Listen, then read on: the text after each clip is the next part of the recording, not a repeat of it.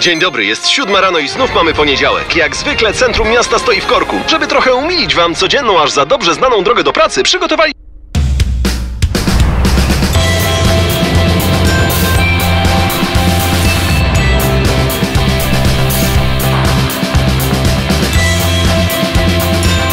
Znasz już drogę? Odkryj nową.